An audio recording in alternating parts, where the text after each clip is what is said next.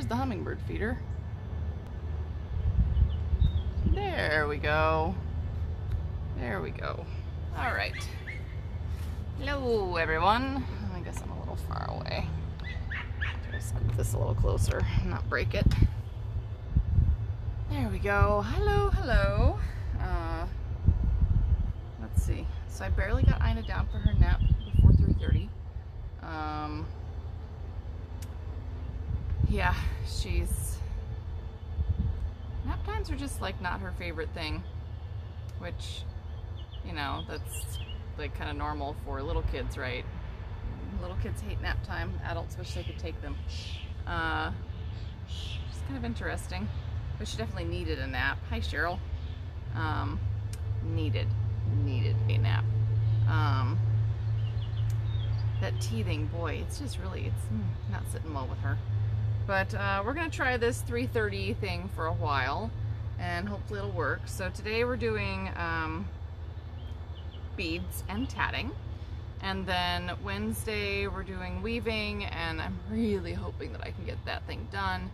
Um, but I've been cleaning my house today because it needed a deep clean, and it's, you know, kind of the end of spring, so I better get it done. Um, so that has to happen and I have a friend coming to visit um, over the weekend and then I will be vending at the Hoosier Hills Fiber Festival in uh, Franklin, Indiana, which is um, just a little south of Indianapolis. Um, hmm, when is that? I think it's June 4th and 5th. I think it's the 4th and 5th. Yeah, pretty sure it's the 4th and 5th, which is a Friday, Saturday that first weekend in, in June. Anyway, so um, my friend Lauren, who is coming, is also going to help me vend there. So I'm going to enlist her aid in packing, um, like the suitcases and things that, that I take. Because I've learned that taking boxes is um, really hard on my back, but taking suitcases is much easier. So I just pack big suitcases and take those with me. Um, anyway, just some quick reminders. Of course, we are still in the year of self-care, and if you haven't posted, um, please post and tag Black Sheep Fiber Emporium so that we know that you are playing along with our year of self-care. And do remember that uh, that year of self-care kind of applies to everything. So um, any any needlework, uh, it all counts, even if it isn't the what is this month's theme again? Um, little indulgences, small things. Um, still counts. Still counts. So go ahead and play along. Just make sure that you are tagging us so we know that you are playing. Um, my my amber shuttles haven't come yet. I'm waiting on them. I keep hoping that they're going to show up, um, but they haven't come yet. So I'm just I'm just waiting at this point.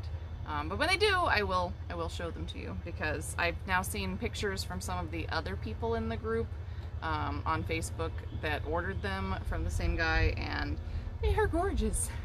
They're gorgeous. And I really want my two shuttles to come. Um, anyway. And then what else have I got going on? Uh, I still have way too many tomato plants and peppers, even though I took I took uh, like 20, at least 20, and got rid of them this weekend with friends. And I'm taking another like half dozen plus and um, getting rid of them tomorrow with more friends. And and yet I just um, I do not know why I feel such a need to start so many tomato plants every year, but I do. And then I end up with so many and I just give them away to my friends and my family. Um, which, I mean, I guess they appreciate it, so that's nice. And hi, Angelus. Nice to see you again. So anyway, today we are doing um, beads and tatting. So here's my, my little my little dab of tatting that we'll be working with. And I have, this is the Olympus, this is the large Olympus. It's nice stuff, like super nice stuff. Um, so we will be working with that momentarily. Oh look, I made a t-shirt for myself. So there we go. It's dinosaurs and flowers. So um, yeah, just, just wanted to show you that because I made my shirt. Um, since last week we were doing sewing and I made a shirt for Ina. I made a shirt for me. I actually made three shirts for me.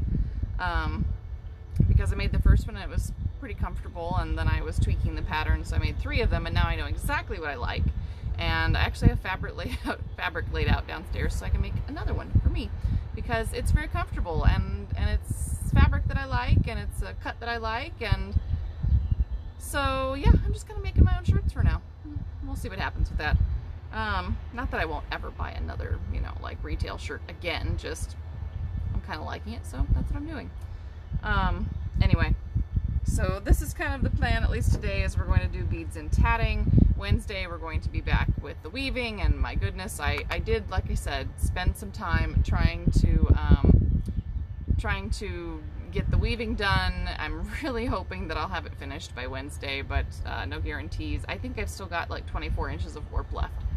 It's a lot. Like I've got a lot of warp left. Um, I apparently like just went to town and I um, managed to like make a giant warp. That's that's my only excuse. Is it was just like a giant warp, and I haven't been working on it because I was working on slow crawl. But I finally have most of the slow crawl stuff done.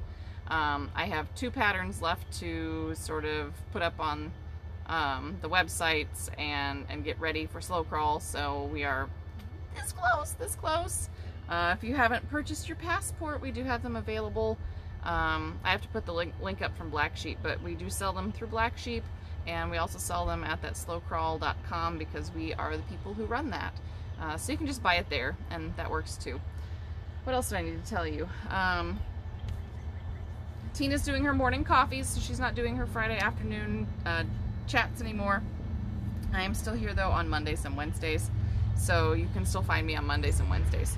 Um, next Monday, what should we do next Monday? Next Monday, let's do uh, let's do knotted lace again, only because I want to show you what I'm working on.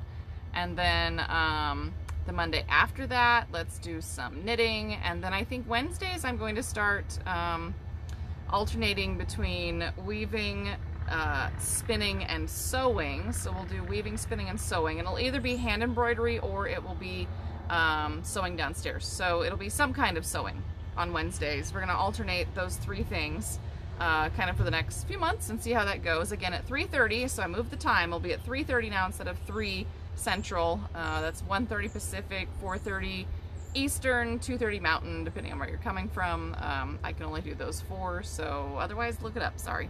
Um, anyway, so that's kind of the plan is uh, I'm going to sort of alternate that on uh, Wednesdays. Mondays, I'm going to try to keep to more uh, lace topics. So we're going to do tatting, Mediterranean knotted lace, and knitted lace on Mondays. Um, and then we'll throw in whatever else uh, we decide we want to do on Mondays. So that'll be fun. And if you have ideas, just let me know. I'm always up for swapping out a Monday if we need to do that. All right, so let's get into the nitty gritty today of what we are doing. I'm going to flip my camera around and point it down, and then hopefully you can watch my hands and everything will be hunky-dory. And hopefully this wasp will go away because it's currently right above me. That is a hazard of being outside, especially here. So,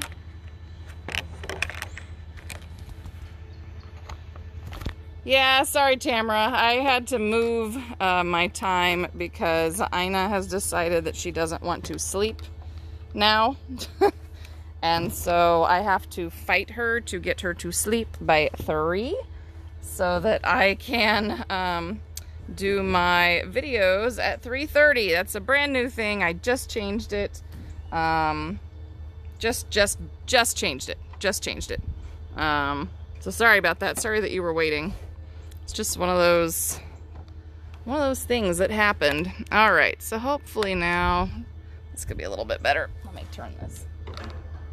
Hmm? There we go. All right. Hopefully, you guys can watch watch me while I work. Let me get a little bit closer. Yeah, sorry about that, Tamara. Yeah, sorry about that. Sorry about that. You know, well, if you miss it, I do try to put it up on YouTube, although sometimes it takes me a few days because I forget. Um, so this is the Olympus. Really like this stuff. Um, it's tighter twist and not quite as soft as DMC, but it's a little softer twist and not quite as harsh as Lizbeth. And I think the definition is still really nice. Um, this is just a little demonstration piece that I've been making showing how to put beads in different places. So we're going to talk about um, bead placement today when it comes to tatting. And um, when you see the bead on the outside edge, like this one, where the thread is running through the center, so both of these are the same. These are um, either pre strung and you set them in your hand, meaning it's in your hand and in your ring and waiting to be put into place, or it's been pre strung on your chain same idea so that it's waiting to be strung into place. Um, when you see a thread running over the top of your bead, that means that it is on your shuttle, but it is outside of your ring. So it's it's out here, it's waiting to be placed, but it will have a thread over the top of it. Just the nature of, of placement of the beads. And then the third one that I'm going to show you is this one. And this one is a bead over a connecting picot. So this one you actually use the hook on your shuttle to set. So I just keep my beads in, uh, well, it doesn't have to be on your shuttle. You just use a, a hook to set it. But um, you can keep your little beads in a container and then you have your hook and you can pull your picot through and pop that on top. Um, that's also a great way to set beads in knitting. I'll just mention that now. So let's talk. Um, let's talk. We'll do a chain here since I've already done two rings. So when we get ready to make a piece with beads when, it, when we're tatting, if we are putting the beads inside the rings or on the chains at all, we have to pre-string our beads. If we are only putting the beads over a joining picot, then we don't have to pre-string anything. So that's the, the first thing that you have to establish is um, how many beads do you need? How big is your motif? Uh, you know, how many beads are going on chains, how many beads are going on rings, because you do have to pre-string them. So there's a little more math involved. You have to think about it a little more. All right, let's do this one. So the first one is if we want to use a bead in place of a picot, and you have to have this pre-strung. When it's on the chain, it's just hanging out on the ball thread, so there's just beads hanging out down there. And you slide your bead into place and tat it just like it would be a picot. So that's that's all there is. You slide it into place. It takes the place of a picot. If it was a little smaller bead, it would look a little bit better in this, but these were nice big beads and they were easy to see and they were on top. So this is what I've been using.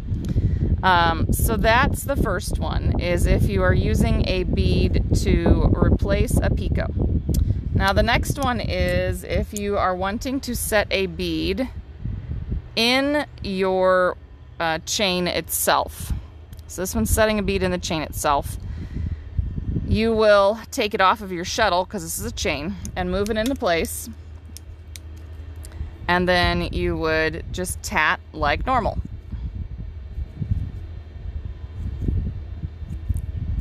But you'll notice that with a picot, the bead sits on the thread and doesn't have another thread around it. With the bead inside the chain, it sits on the chain, but now it has the uh, thread around it from what would have been a picot because it's the space between two stitches. So that's the difference between those two. Same idea for uh, rings but let me show you a bead on a join because I have a handy picot right here.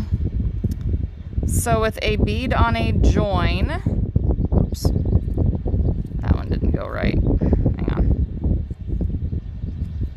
With a bead on a join, you are going to identify whichever picot you're going to use. So we're going to use this picot here and grab a hook of some sort because you are going to hook your bead on, hook your picot, and then slide the bead over the picot, and then comes the tricky part. Because of course you always want your picot just so long. And then we are going to take that hook, come on, picot, ha, and pop it through the picot and you will join as normal. So we're going to join as normal. Bring this up like this. Join as normal. And this will set the bead over the picot so the bead kind of free floats but is locked in place and can't go anywhere, just like if you had tatted it into the piece. Okay and now I forgot to put a bead in here, but that's okay. So I can show you putting the bead in place in the middle of a ring, at least. So same idea on a ring, you would pop it from the shuttle and put it in place just like you would between two stitches. But again, you'll notice that you're going to have that thread over the top of your bead. And I cannot put a bead in in place of a picot on this ring because I didn't add a bead to the ring before I started. So that is the difference right there. You have to add however many beads to your ring that you plan to use. There we go. So if I want a bead in in place of a picot, I have to add however many I'm going to use to my ring before I make my ring. Because if I wait until after, then it won't work. And then you just kind of have to keep them back out of the way while you start your piece. So let's say I'm just going to join that now. Why not? This is just a demo piece. It's kind of a funky little demo piece too. I do like the beads with this thread, even though they're a little bit big. Okay, and then you would bring your bead up and put it in place of your picot and then tat as normal. And then let's say that I want to do one more. Bring it up into place. And you're going to tat your bead in place and tat as normal. Just like this. So that's that's the difference. It's just three different um, placements that results in three different looks. So these are beads that were on the ring that we added to the ring before we closed it. To start, this one was added from the shuttle after we'd started the ring. This one is over a picot. And then the same thing here. So that's my little demo piece. And hopefully, if you haven't played with beads yet, it gave you an idea of um, what you can do and how to do it. So tatting with beads is not hard. Um, it can require math if you have to, you know, pre-string your beads. You may have to pre-string a couple hundred if you're doing a big piece. Um, but, well, I have everybody out here. I have been working on my knotted lace and I've been working on cleaning off some tatting shuttles. So this is the piece that I'm currently working on and it's a little bit ruffly because I am still working to add uh, more rounds to help uh, flatten it out. This is size 80 Lizbeth thread that I had left over on two shuttles and it had been on those shuttles for years because I just hadn't done anything with it and I decided it was time to do something and make something and get it off my shuttles so I am playing with the knotted lace with this. This is another one that I had started um, with again some like leftover thread off of a tatting shuttle and I really like how this one's going. So I went ahead and I put a removable um, well this isn't a stitch marker but just a little safety pin in here so that I know where the start of my round is. And I went ahead and dug out the thread that I um, used for this this color. And this is uh, mm-hmm. 40 I think. Let me double check. Pretty sure it's 40 isn't it? Yes, it is size 40. So that's some size 40. And I'm going to keep going with this one uh, with this Mediterranean knotted lace piece. I'm going to keep going with it. I just kind of switched to this one so that I could clean off my shuttles. But I, I kind of know where I went wrong. There's another piece I did. Because I should have put another round of um, basic loops in before I did this increase round where I was doing two loops in each loop. So I doubled my stitch count and it made it just a little bit more ruffly than I thought it would. So now I have to, uh, I've got to keep going with a lot of basic loops to help round this out so that it will lay a little flatter. I think eventually I can get it to where it will lay flat. It's just going to take some, some work, which is fine. Anyway, and that's that size 80 Lizbeth. And we do carry this Lizbeth uh, in size 80, 40, and 10 in the shop if you happen to be looking for any. Um, there's another little piece that I finished that I was cleaning off my shuttles. So I just kind of made up the pattern. Um, I have been using three different books for inspiration um, for my little pieces, but I've mostly been just winging it. the only one that I followed a pattern on, a uh, Cheryl, was this one. And this one is, um, which one is this one? This one is, mm, I think this is the second Mediterranean Knotted Lace book um, by Elena Dickson. Um, I have her Babila book, but I haven't done much of that yet. I'll be switching to flowers soon. I'm just trying to like practice my lace first um, because I decided that you know that's that's where I wanted to start. So here's all my pieces, uh, kind of in order. So this was the first one I did, and it has clearly has some issues. This one is better. This one I did um, after that one, and then this piece, and then this piece, and you can see that I'm getting better. I'm getting um, tighter knots. I'm getting more consistent with my uh, loops as I go on. And um, once I once I kind of get through these and decide whatever I'm going to do with them, I'm, I plan to go back to this gorgeous Olympus. This is the Olympus Medium, and I am going to play with some Olympus Medium because I think that it is going to be super nice um, and I've kind of had some ideas about ways to use the Mediterranean knotted lace to make more 3D things because I can see a lot of potential, especially with um, especially with the ruffling that this one's kind of doing. Um, I honestly thought about like stitching three points together and sort of making a little interesting 3D cupped thing, but I decided I'm going to keep going and, and, keep practicing my loops.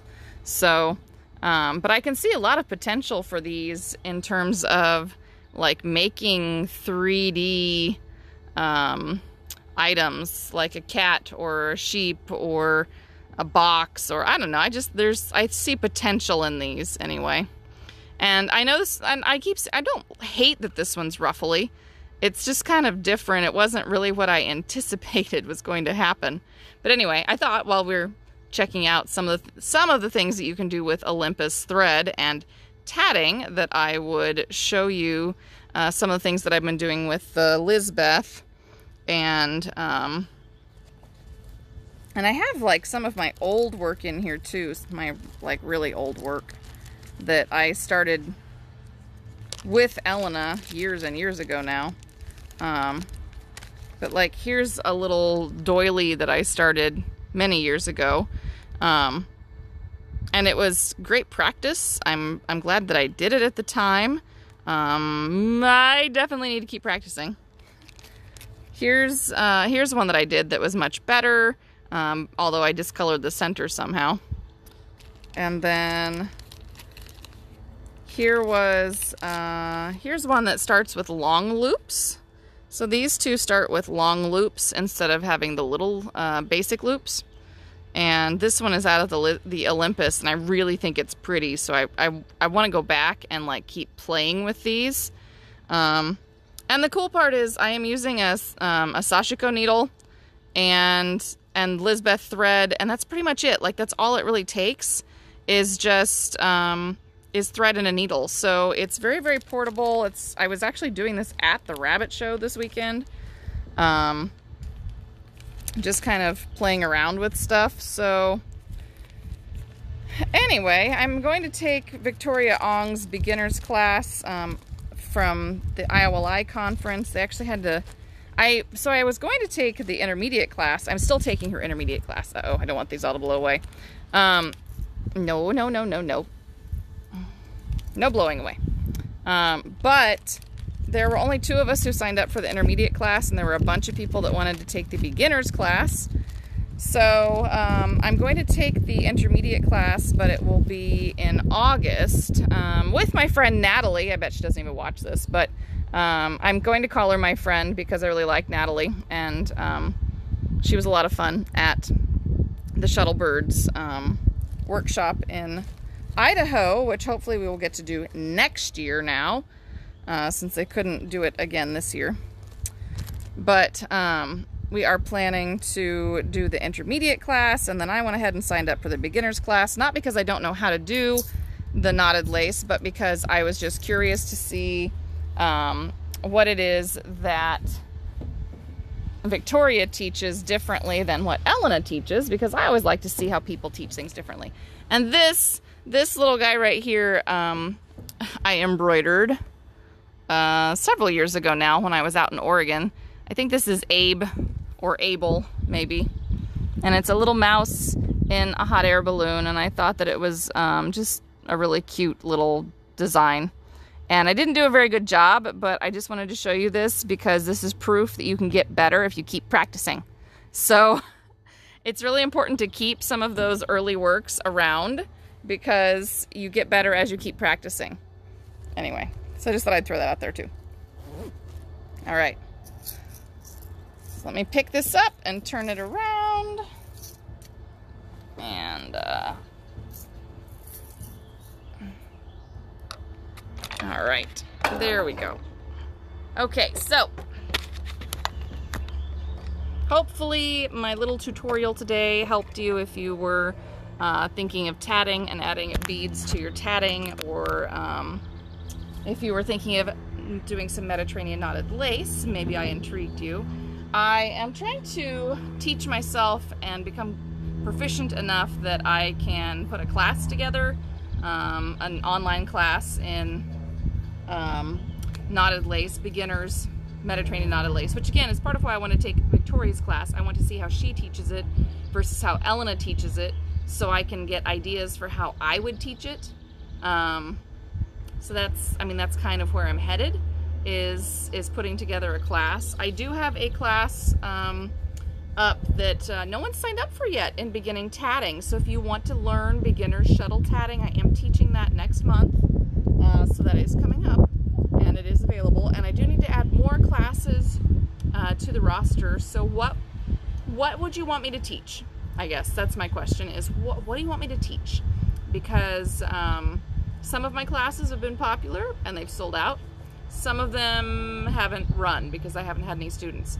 So I, I'm just asking you guys, what would you want to see? What would you like me to teach? I can do cables, lace, color work, uh, socks, mittens, mitts, cowls, shawls, um, you know, beginners tatting. I, I ran in, I tried to run an intermediate course, Cheryl, but nobody uh, signed up for that either. Um, so an intermediate course in tatting. Um, I, we could always do like a uh, a project. I could do a tatting project where we, you know, learn techniques together. So that's always an option. Um, yeah, I'm trying to I'm trying to become proficient enough that I could teach a beginner's Mediterranean knotted lace. Um, I don't know. I don't know. There's all kinds of things to teach. Tina usually does the beginning knitting and the beginning crochet. Um, yeah, I don't know. I don't know. I just keep trying to find things to teach because it's fun. And I'm super sleepy because um, I've been just working to get my house like all cleaned up today. Um, I mean, I'm not going to get the whole house done, but like, you know, I did the kitchen floor and the counters and the sink and uh, you know, got all my dishes washed and in the dishwasher if they weren't washed. Um, and I washed my sheets and I cleaned the bathroom where the cat has his litter box and cleaned his litter box and cleaned his bowls and you know just all that stuff that you have to do. There's so many things. There's so many things. I cleaned my shower while i was taking a shower. Um, what else did i do i don't even know it's just so yeah i was doing a lot of cleaning today um, and i you know i ran the water this morning but i forgot to water the plants on the deck so i'm gonna have to water the plants on the deck tonight really well because they're looking a little droopy not terrible just a little droopy um, what else did we do? I don't know. Ina yesterday Ina helped me um, helped me to break apart an aloe plant. So I bought one aloe plant and it took off and and now I have like mm, three main aloe plants and they throw off babies all the time. And so I end up with like 20 aloe plants or more every year. And so then I have to give away aloe plants too because uh, I have too many aloe plants. I just, uh, I'm not exactly a green thumb, but there's a few things that I grow that I can just grow. Um, so she helped me to split all of the aloes and put them in their own individual pots yesterday, and then she helped me water all the plants on the porch. Uh, so I've been trying to teach her all of those things. Um, and then we sort of sorted and reorganized some of her toys, and we took more of them downstairs because I want to start taking Ina downstairs more where I have my loom and my sewing machines so that I can get more weaving and sewing done with her uh, and she has her toys to play with downstairs. So anyway, that's the plan on that. Um, which is part of why like I was I was weaving for a while today and I'm gonna go back down and try to get another chunk woven and and I really really want to get that uh, warp off my loom on Wednesday so we can talk about hemming and we can take a look at any mistakes that I made and what I could have done to prevent them. And then also um, I want to talk about uh, like cutting and hemming your hand woven fabric. Um, so like there's a whole bunch of stuff that I want to talk about. I just, I have to get it woven. I just, I don't know, I made this warp like super long. I didn't think I made it that long. Apparently I just, I made it super long. But anyway, so I will um, try to get more of my events up so that you know kind of what the schedule is going to be from now on. Um, like I said, Wednesdays I'm going to alternate between uh, weaving, spinning, and sewing, and then we'll do weaving, spinning, sewing. And the sewing will be one of two things. We'll either be downstairs and I'll be talking about um, putting patterns together and making garments, or I'll be upstairs and um, we'll be doing hand embroidery. So it kind of gives me you know, a little bit of leeway there. And then Mondays, uh, like I said, I'm going to kind of focus on lace for a little while, so we'll be rotating between tatting, uh, Mediterranean knotted lace, and knitted lace, um, because those are the three that I, those are the three that I do. Um, and and hopefully we'll have fun with that. But if there is something that you want me to talk about or teach, let me know because I am always happy to swap out a Monday or a Wednesday if I have a good subject. So um, anyway, and 3.30s from now on instead of 3 o'clock because I'm trying to work with Ina's schedule and I, I like to do my videos without a lot of interruption. She's not terrible, but, you know, if I can focus on you guys for half an hour to 45 minutes, it does make my day just that little bit better.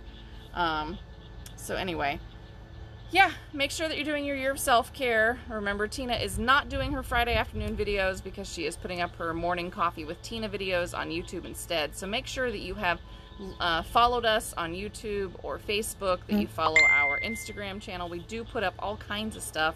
Uh, TikTok I've been completely neglecting and I really need to um, work on some small videos on, uh, I think the Mediterranean Knotted Lace would be a good one next. Um, but I, I, like doing the little how-to videos, little one-minute how-to videos and, and adding those to TikTok. Um, it gives me a lot of, of things to talk about.